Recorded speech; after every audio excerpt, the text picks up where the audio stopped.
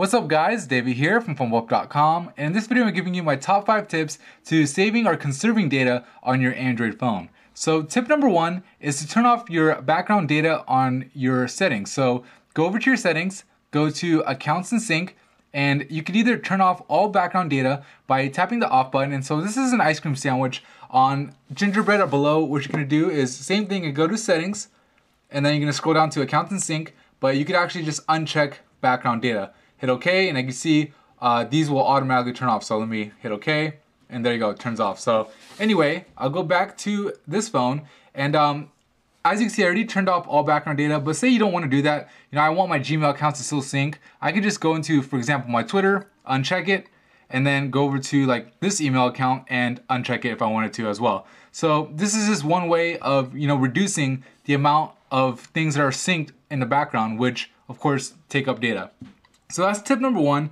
Tip number two is to either delete the widgets you're not using. So I have a whole bunch of widgets on my home screen. Um, if you're not using the widget, just delete them right off because every time those things sync up with the server uh, for whatever widget it is, for example, this ESPN uh, widget uh, syncs with ESPN servers, CNN with CNN servers, etc. So if I'm not using them, just delete them. But otherwise, let's say for example, uh, this weather widget, I, I still want to keep it on my phone, but I don't want it to use as much data as it is right now. I could tap on it, go over to the settings. Now obviously the settings are gonna be a little bit different for each widget, but I'll just use this as an example.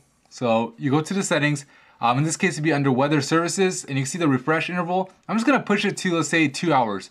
Um, you know, sometimes I see people with their phones set at 15 minutes and obviously if it's set at 15 minutes, every single, you know, hour you're gonna check it four times. Where if you have it at one hour or two hours, you can be checking a lot less. And obviously you don't really need um, it to check all that often. So anyway, that's step number two.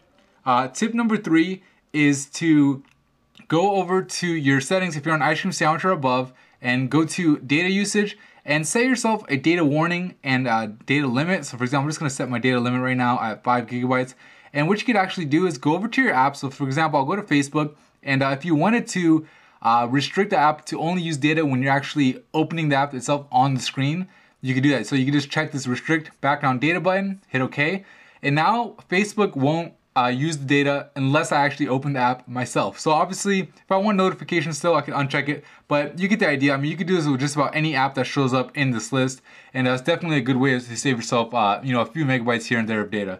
So now, step number four, or tip number four, is to, when you go on your browser, use the mobile websites whenever you can. So I know it's nice to look at full websites on your Android phone because, hey, they can load them up, but honestly, mobile websites are not only faster, but they also take up a lot less data. And uh, another thing you want to do is go over to your settings and say you're just like scrolling or browsing through the uh, New York Times, you could go over to bandwidth management within the browser settings and uncheck load images. So that way, when you go to New York or the New York Times or whatever website you go to, um, you could just load up just the text and that way you're not loading images. Because, for example, you know, an article, for example, on PhoneBuff.com, the text will be only like 10 kilobytes, where the picture will be like 50 or 60 kilobytes. So obviously, if you don't really need the picture and it doesn't really even matter, there's no point to load it. So that's step number four, or tip number four. And the last tip, and probably the most important, is to use Wi-Fi. As you can see, my Wi-Fi is on anytime you can. And um, you know, you don't obviously, you're not always gonna have access to Wi-Fi, but what you can do is, like for example, on your uh, Play Store, you could go over to the settings and what you could do is set it to where uh, apps only update on, on, Wi-Fi. So if you have this guy checked right here, um, they'll only update when you're on Wi-Fi connection because you don't want to just be updating apps, you know, when you're on 3G or 4G because that's going to be using up your data plan. So that's one thing you want to do. Um, if you're downloading apps in general, try to do it when you're on a Wi-Fi connection. If you're downloading email attachments, if you're sending pictures to a friend or whatever it is, do it over Wi-Fi because those things take up a lot of bandwidth and you know it's just really something that you could wait for most of the time. So anyway, those are my top five tips. Hopefully they help you. If they do, please hit the like button and subscribe. And don't forget to visit phonebuff.com for more cell phone news, reviews, and how-tos. Thank you.